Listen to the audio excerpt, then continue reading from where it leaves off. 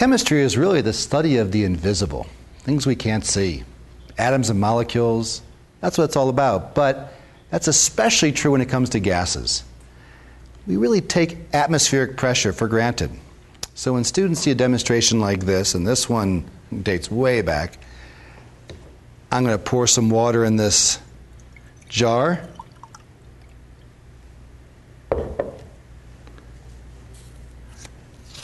Cover the jar with a little card, turn upside down, and take my hand away. That's rather remarkable that the water stays in there. What's going on? Well, the explanation for this is its atmospheric pressure. Think of the forces that were acting on that card just now. There's the jar. I filled it with water. So we have water inside here. There's the card. If all you were thinking about was the water pushing down on it, you would think the card would go down, the water would spill out. But we forget that there's atmospheric pressure. And atmospheric pressure, 15 pounds per square inch. Well, 14.7, we'll call it 15. That's a lot more pressure being exerted upward on that card than there is downward. So the card stays in place, it doesn't fall out. Well, actually, the question is if there's more pressure pushing upward than downward, why does the card not go up into the bottle? It should, greater pressure. Well, it would if it could, but it's obviously too big. We could try trimming that card down so it just fit like that, and then I guess it should work. That might turn sideways though and spill out all over the place. And this demonstration is essentially that. The second one I'm going to show you here. So I've got a long tube here. Now I'll probably need all my water back, so and I've just colored it with some green food color in there to make it a little bit more visible. And um, first task is to fill this longer bottle up with the water. Make sure that stopper is securely in the other end. You'd be surprised with just, I'll say this is a four foot tube, four feet of water pressure can do. Okay? To make sure that I'm just going to pick it up and, okay, it's in there. And I'm not going to use a card, but instead a test tube that fits in there. And I'd like a test tube that fits in there nice and I shouldn't say snugly, but not with much room. So I put a little tape around it here. And there's going to be some water lost around the edges as I put this down in there. Okay?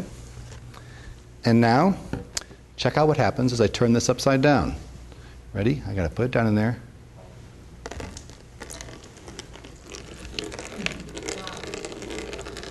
Indeed, it is pushed up in there. I call this the hydraulic elevator. Atmospheric pressure is stronger than even four feet of water pressure. Now, how am I going to get that out? well, notice I use a stopper there, so I could just loosen the stopper a little bit, or giving it a little shake sometimes is enough to get it back down. Let's see here. There it comes. Makes a kind of a fun noise, too. Okay? So that's the hydraulic elevator. Let me show it to you again, though. A couple things I want to talk about. One is I could not do this with a 40 foot tall tube.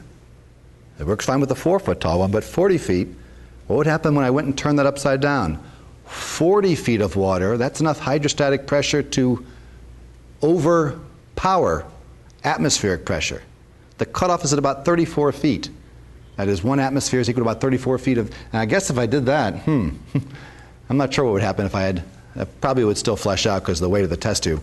But uh, this really does work because I'm sticking to relatively small tubes. Now, one more time. Just fill it up completely.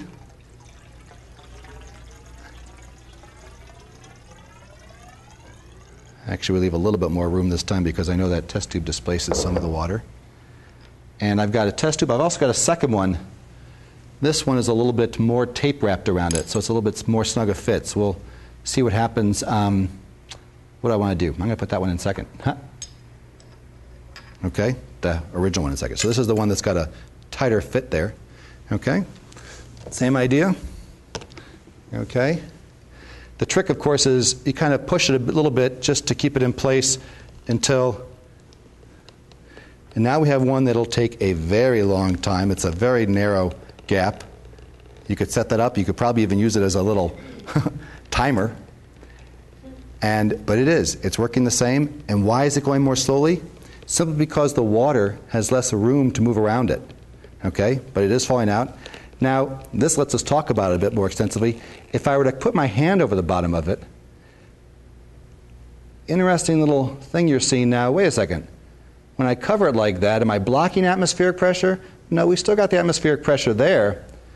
But now the entire thing becomes a test tube that's riding on top of a bubble, right? And that kind of makes sense. The bubble floats, brings the test tube up with it.